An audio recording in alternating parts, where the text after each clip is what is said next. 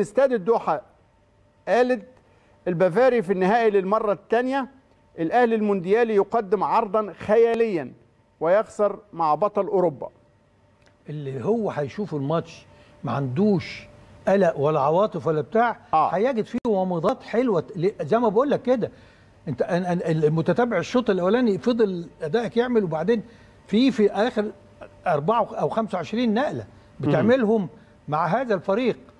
لا حاجة بت بتخليك تقول لا الفريق الأهلي لو كان قد أدى مجموعة من المباريات الدولية الثقيله ممكن كان آه، يبقى أداء أكثر طموح. وهنا أنا عايز أفكر بحاجة يا جماعة. هو ده جيل. اولا أيوة. مشاركات الأهلي في بطولة العالم قبل كده مفيش حد من اللعيبة اللي موجودة معانا اللي بدأت المباراة امبارح كانت موجودة في المشاركات السابقة. فبالتالي خلينا نفتكر مهندس عادل طلب في في البداية إن إحنا نرجع شوية للورا. أنا هرجع شوية أكتر شوية. خلينا نفتكر 2005 2005 أول ظهور للأهلي في كأس العالم للأندية. رحنا اليابان ورايحين بامال عريضة جدا والأهلي عامل أعلى المستويات في بطولة أفريقيا. وكان الكلام إن إحنا هنخطف رجلنا قياسية. هنخطف رجلنا يومين لط- لطوكيو ونجيب الكاس ونيجي. ما تتأخروش. كله كان رايح يحدو هذا الأمل أو عنده هذا الاعتقاد. رحنا خسرنا من اتحاد جدة بأداء كان ساعتها الأضعف للأهلي في البطولة وخرج الأهلي في المركز السادس. لا لعبنا ماتشين خسرناهم. آه، بس وبعد تع- كده من سيدني. اتعلم الأهلي الدرس. آه. خدوا بالكم ساعتها كان في المجموعة الكبيرة أعضاء الجيل الذهبي. بس أنا عايز أكد لكم على أهمية الخبرة.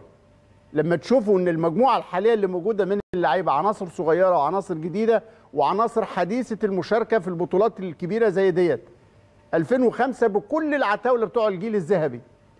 خسرنا من اتحاد جدة وخسرنا من سيدني بس اتعلمنا درس كبير جدا. هو مانويل قال كده. جينا البطولة اللي بعديها. قال إيه وإحنا ماشيين؟ سنعود عشان نظهر الشكل الحقيقي الحقيقي للنادي الأهلي. للنادي الأهلي.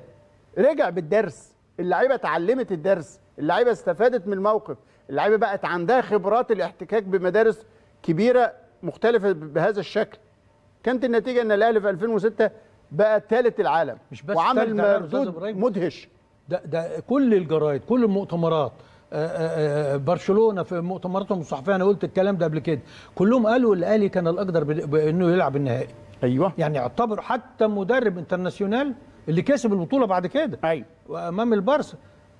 صوته كان قد كده في أوضة اللبس بعد الماتش. قال لهم إحنا إحنا سرقنا الماتش إحنا ما نستحقش نكسب الماتش ده.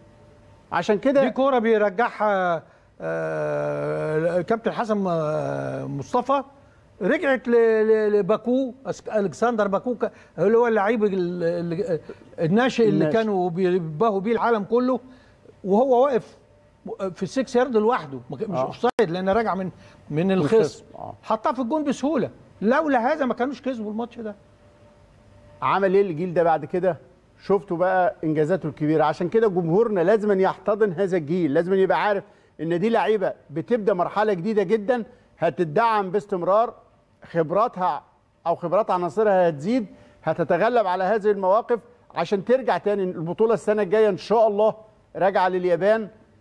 الأهلي هيبدأ المحاولة بحثا عن العشره إن شاء الله. يوم الثلاثاء عنده مباراة المريخ السوداني في القاهرة في بداية دور المجموعات. فهو ده ده الدعم الإيجابي المطلوب. إزاي نقدر ندعم هذا الجيل من هؤلاء اللاعبين عشان يرجعوا صورة الأهلي الكبيرة أنا تاني بس برضو عايز أقول إحنا هنلعب على المركز الثالث لكن إحنا في الرابع. أيوه. إحنا دلوقتي معانا أنت المركز الرابع. وبالميراس الاثنين في المركز الرابع. آه.